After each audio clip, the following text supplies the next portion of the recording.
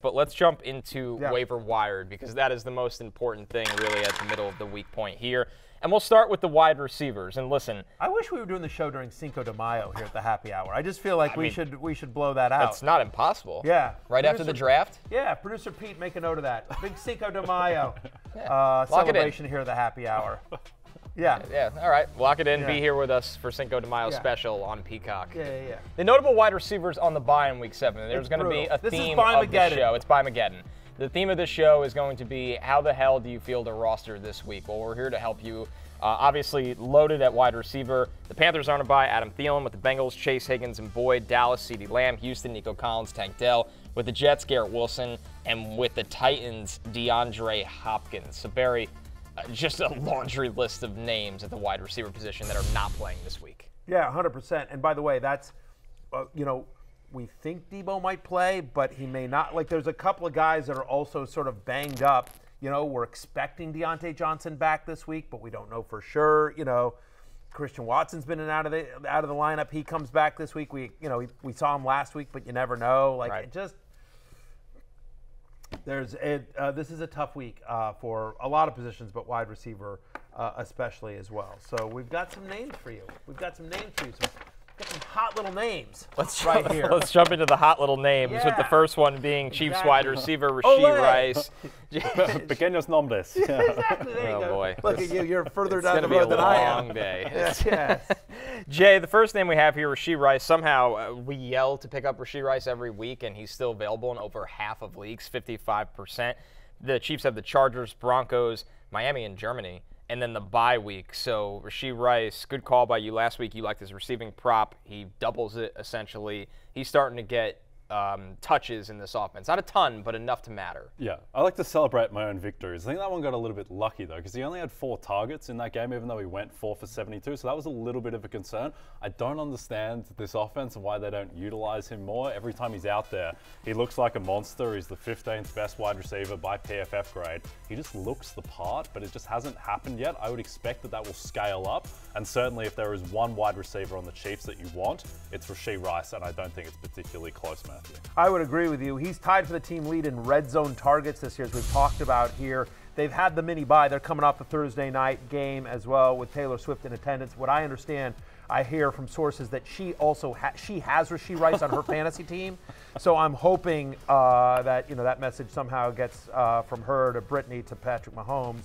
Uh, the fact of the matter is, is to your point, double-digit fantasy points in three of the past four games like I, we've said this for a while. We've been saying this for a while. Rashee Rice is coming. This is going to happen. He is going to be a thing this season. He's been usable the last couple of weeks as well, and now he gets a Chargers team that's traveling on a short week, um, or, or not traveling. The game's in uh, the game's in uh, Los Angeles, I believe, right?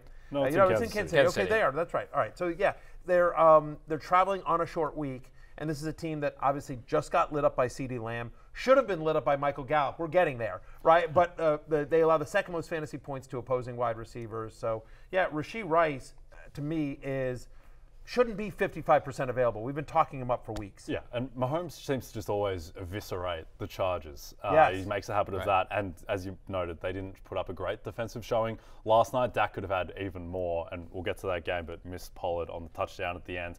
And Rashee Rice, his, he, he is so correlated as well with Patrick Mahomes' success. Right. Because I've got a lot of people who've bet on Patrick Mahomes MVP uh, at my urging who are a bit worried that oh, Mahomes' numbers don't look great. Like, his weapons are as good as last year, maybe even better because of Rashee Rice. Like, he's lost what Juju Smith Schuster, Rice is better than Juju.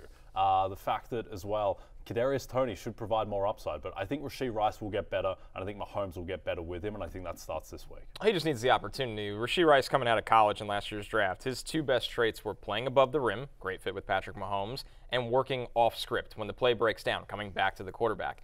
He needs to be on the field as much as possible for those things to happen. So I, I'm with you. The big time breakout is coming for Rashee Rice. Another rookie that we're waiting on to really, and he had a good week six, but he hasn't had that great week yet, is Jaxon Smith-Njigba, the first round pick for the Seahawks. Berry, he's, you know, he's available in over 50% of leagues here, so he's still out there.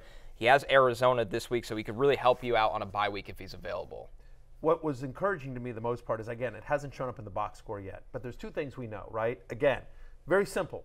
Fantasy success comes from talent and opportunity. It's one of the reasons why we like Rashee Rice. We know he's got talent, and he's been getting more and more opportunity. Same with Jackson Smith and Jigba, who I believe, Connor, you had as your number one Yep. rated wide receiver Yep. coming out of college this year. So we all like JSN talent wise. Is he going to get the opportunity? Previously in the season, he really wasn't. He was playing significantly fewer snaps, running fewer routes than DK Metcalf or Tyler Lockett. This past week, not so much. You see it there on your screen 72% snap percentage. He got the four for 48, five targets. All of those were season highs. So he's had five or more targets in four out of five games this year, but he ran more routes. He was on the field more. He was almost equal with DK Metcalf and Tyler Lockett. It feels like it's now to the point where we all hoped it would be, which is sort of like they're all out there equally. And then ultimately, if they're all out there equally, we think JSN's talent will win out. I'm not saying he's better than Metcalf or Lockett. He's not, not at this stage of his career, but he's going to earn more than he certainly has. A breakout could, could, could certainly come especially this week against a Cardinals defense that allows the seventh most fantasy points to opposing wide receivers. Yeah, I think as well, Connor, there's the perception that, you know, Pete Carroll likes to run the ball. Think back to those Russell Wilson days where it was just so often run, run, pass, run, run, pass. This is not that same offense at all. They're seventh in the league in passing rate over expected based on the situation and whether teams would normally run or pass. So this is a team that throws the ball. And the fact also they don't really get much out of their tight ends. I think there should be room for JSN to be that third guy in the passing offense. There absolutely should be, and they're not. They have an offensive line that's trying to figure it out as well. And if they can, they get healthy with that group, the pass game will get better. The Bengals front ate alive, that Seattle offensive line, and if they can figure that part out, it'll only help a guy like JSN. Our next one here. Giants wide receiver Wan'Dale Robinson, he's got your commanders this week, Berry. 82% available across all leagues. And here's the thing with Wan'Dale Robinson, he's been a feature of this offense that's trying to figure it out the last couple weeks. I feel like all these guys. I feel like, especially Rashee Rice, especially Wan'Dale Robinson. We've been we've, we've mentioned JSN before as well, but like some of these guys, we just we keep talking about, like you know, just like like Tyjae Spears, like some of these other guys, like we talked about Puka Nacua in the preseason. Like again, I don't understand why or Tank Dell in the preseason. Like I, these guys are to become things. Like if you look at all the underlying data, right? So, well, by the way, he was my my Berry's bet on Football Night in America, and that cashed. Again, I just just a heads up. Bet the Berry's bet. You know, parlay's is always dicey, but you know, always tougher to hit. Straight bet, but straight cash bet. it Straight bet's cash money this year. Um, the fact of the matter is, is that uh, he had a 26% target share last week. Uh, uh, you know, with the uh, with the eight targets as well. Three straight games now with five or more receptions. The fact of the matter is about Wan'Dale Robinson is again, and I feel like I've said this multiple shows in multiple weeks, but it bears repeating because he's still out there in way too many leagues. Brian Daboll used a second round pick on him, him and Joe Schoen. Like he's the only guy on this roster in that passing game, with the exception of Darren Waller, who they traded for, that the current coaching staff is invested in in the way that like that's my guy, not anyone else that they inher- they inherited Darius Slayton, they inherited all the uh, inherited Isaiah Hodgins, like um, uh, they did draft Jalin Hyatt, you know, so Right. like but Wando Robinson, somebody they used a second round pick on, and just think about Brian Daboll's offense, who always targets the slot. That's a big part, cross, especially the crossing routes. It's one of the things that Daniel Jones does well. We hope to get Daniel Jones back this week as well. So I, Wando, like this is gonna be a thing. Like it, it already started to be a thing against, you know, again he had Tyrod Taylor who's playing the Bills defense, and he still, you know, had a had a pretty nice game there. That's really usable in PPR. I think it's only going to continue. Wando Robinson is going to be, I believe, what the Giants wanted Kadarius Toney to be, which is like this slot guy with some big play uh, ability, and maybe they'll try to use some gadget stuff. I don't think he's as gadgety as Kadarius Toney. I mean, you can talk about this better It- than I can, but uh, Kentucky like- used him that way. but. Kentucky used Yeah, him like that way, right? I mean, Yeah. like, I don't know. I, I, I have Wando Robinson on every dynasty team I have. What can I tell you? I'm all in. Oh, Ole. I think the upside for Wan'Dale comes from the fact that Isaiah Hodgins played 18 snaps against the Bills. Sterling Shepard played one snap. Those guys are not part of the offense. Thought about this being a, a really, well, not loaded in terms of talent, but loaded in terms of just people in the Yes. wide receiver room for the Giants. Those guys are getting phased out. And the fact as well that he played less snaps than Jalin Hyatt and Darius Slayton, I think that'll start trending towards Wan'Dale. He's got upside. He can play more, and he's getting targeted when he's out there. I- again, that's the earning targets is a skill, and the fact that he was able to earn eight targets playing, to your point, less snaps than the other guys, just tells you something. Another player in a similar mold, Jay, is Josh Downs, who he's only available now in 67% of leagues. That number is going to go down because what we've been saying for a couple weeks now is when Downs, the rookie slot receiver, plays with Gardner Minshew, Minshew leans on him.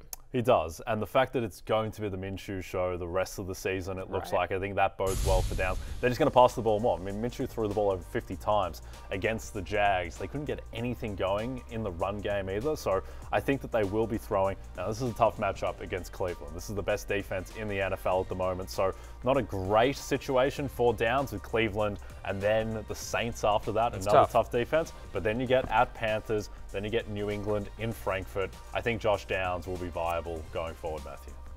Yeah, exactly. I mean, we can get more into this when we get into the waivers, but the fact of the matter is, is that uh, Jim Irsay said most likely Anthony Richardson is down is done for the year. If nothing else, whether Richardson comes back or not, it's going to be Gardner Minshew for quite some time. And to your point, he has a he has a connection with uh, Josh Downs. 21% target share for Josh Downs so far with Minshew under center this season. At least 13 fantasy points in three of the four games. Like, not somebody we love in standard or um, even half point PPR, but in PPR, very viable. 87% available.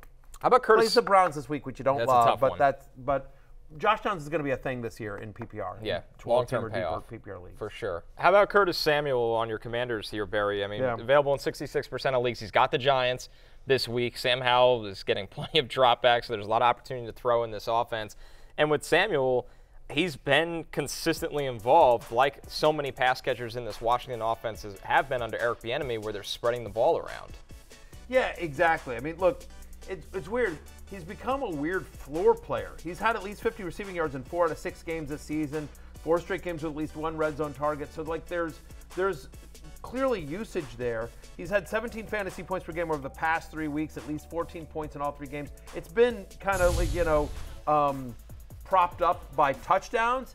And I got to believe at some point, Jahan Dotson gets going. He's just too good. But you see it there on your screen. Curtis Samuel, it's kind of like a, a three headed monster there for Washington. And given how much they throw, because of how bad the secondary is, and, and let's be honest, Sam Howell's been good. Sam Howell's been uh, better than expected by most, except for me, who always believed. Uh, Curtis Samuel is a viable guy, 66% available. Decent match. By the way, here's their ske- They got the Giants this week and then home to Philadelphia. The slot is where you attack the Eagles. You so throw against yeah, them. 100%. You know, and then at New, at New England, which, you know, is not in theory a great matchup, but, you know, New England hasn't been New England, right? Exactly. I mean, Yeah. exactly. And then at Seattle, the Seahawks secondary doesn't scare you at all. So decent matchup coming up for my Commanders. Yeah, the thing with Samuel is that I mentioned how the Seahawks are seventh in pass rate over expected. The Commanders are second. The only team that passes more than them over expected is uh, Kansas City, who have Patrick Mahomes. I think a lot of that is skewed by the fact that they passed about 50 times in a row against the Bears in that Thursday night game, just never ran the ball at all. But this is a passing offense, and Sam Howell, for all of his sins, of ta- he took another five sacks on the weekend. It's just yes, did. completely insane Yeah. that that is happening. But Dios mio! the uh, When I watch the games, that's what I say. When I watch, when I watch Every time Howell he gets take another I can, I can vouch Yeah. for that. Yeah. Uh, the thing with that is, at least from a fantasy perspective, it means he's hanging in the play and he's throwing the ball a ton. And so he, he's not throwing the ball away because he refuses to throw the ball Yeah, away. It's no, either it drives me completion or sack. Completion or sack. right, right. So it helps guys like Curtis Samuel uh, in an offense that yeah is providing a lot of stats. A couple quick mentions here. Obviously, these are some deep targets. Lions wide receiver Josh Reynolds against the Ravens. He's available in 52% of leagues. Reynolds Right. has had plenty of big weeks this year. Uh, Yeah. Patriots wide receiver Kendrick Bourne against the Bills. Saints wide receiver Rashid Shaheed against Jacksonville. 68% still surprised me with Shaheed. He's had two or three pretty big weeks this year. Yeah, he's just not getting it. You know, the, the, the question with Shaheed is just can the passing. They're dumping it up to Kamara quite a bit. Michael Thomas is still healthy. You know, Olave's the guy. Derek Carr has been inconsistent this year. Shaheed is just one of those guys that because he plays special teams, he doesn't play a full complement of snaps. Yep. But like when he's out there, the kid makes plays. Yep. Like, just really like the kid. It's worth noting. I mean, Kendrick Bourne. This is again. He had it quietly had a very nice game. Uh, we didn't really get to much in that Patriots Raiders game, but Kendrick Bourne had a 35% target share this week. He actually leads the Patriots in targets, in receptions, in receiving yards. He had a couple good games at the start of the season. I know it's been brutal for the Patriots, and Mac Jones is under fire. But again, this week in Buymageddon, you may not be picky. Kendrick Bourne at least has big playability, and they're trying to get him the ball. Yeah, Josh Reynolds is an interesting one to me, just with the banged up running back situation for the Lions, going up against Baltimore, who have a top five rushing defense. Like, this quietly, we talked about how last night was a referendum on Dak Prescott. Mm. Not as much pressure because they're 5 and 1. This is a massive game for Jared Goff because he Mm-hmm. doesn't play outdoors much after this. He's only got one game exposed to the elements after this one against Baltimore. It's going to be on his shoulders. Uh, and look, Jared Goff's been talked about as an MVP candidate. He This game is all about him. And I think Josh Reynolds is Yeah. playing so well that, that he's going to be viable. If he has, we're going to do futures uh, uh, uh, later in the show, but it's right. If Jared, it'd be interesting to see what the MVP odds are. If Jared, if Jared Goff goes into Baltimore And plays and well and outplay, no, outplays Lamar Jackson, Yeah. right? And and they win, right? They go on the road and they win that because I think everyone likes the Lions, but Yeah. they're just now starting to be talked about like, oh, oh, could it be the Lions instead of the Eagles out of the NFC? Which I I don't know why that's not a thing, but you know, obviously, given the Eagles haven't looked like the Eagles in all capital letters so far, and the Lions have been crushing. Yeah, and the Lions as well. I mean, after at Baltimore, then the schedule's really easy after that. It's then Vegas, at Chargers, home Bears, home Packers, at Bears. like it's the insanely division's a easy. joke. Yeah, they Right. if they we go talked about this when we were talking two- up uh, Amon-Ra St. Brown and Montgomery in the preseason, even even Jahmyr Gibbs or Laporta to an extent, which is like seven of their final eight games are in a dome where Goff plays well, and so I it's Just saying, don't be shocked if Jared Goff is like plus 500 for MVP in a couple of weeks. I don't think he's ultimately going to win because he's Jared Goff, and people just have a barrier with Jared Goff winning MVP over Patrick Right. Mahomes and Josh Allen, the Right. same way they do with Purdy. Except it's even worse for Goff because Purdy at least is more unknown. But sometimes if you're there, the I, one I, seed, I think it's a better chance that Dan Campbell wins Coach of the Year that's the one. than uh, because you know people love him and he's done a great job there and he's charismatic and you know. yeah, But yeah, it's very big. Yes, but I could see Jared Goff winning like an ESPY or something. Oh, okay. Yeah. What are the Nickelodeon ones called? Yeah, whatever. Yeah, like yeah. a yeah, slime time or Yeah, whatever. yeah, I could see him winning Yeah, one of those. He does under- look suspiciously like Ryan Gosling as well, Yes. so he could be in line for uh, even an Oscar by accident. His, his For Barbie. yeah, for Barbie. Yeah. Oh, and here's Jared Goff, except uh, best little bit supporting actor. Gosling couldn't Barbie, make it. Yeah, yeah. All right, to recap, Berry's Week 7 top wide receiver waiver targets Rashee Rice at number one. If he's out there in your leagues, just go get him. We've been asking you to do that every week. Number two, Jaxon Smith-Njigba for the Seahawks. Three, Wan'Dale Robinson getting heavily involved in the Giants offense at number three. And four, Josh Downs. He's been really good with Gardner Minshew this year. Five, Curtis Samuel, who has been involved with Sam Howell in the Commanders' passing attack. All right, let's move over to running backs. And of course, we'll start this showing you the notable byes for week seven. Yeah. Do you say move over to running backs, or do you mean vamos? Ah, backs. yes. Well done. Hey, it's Matthew Berry from NBCSports.com and Rotoworld.com, and I want to thank you so much for watching whatever it is you just watched, or if nothing else, being too lazy to click out of the autoplay after this video started, after whatever it is you actually wanted to watch finished.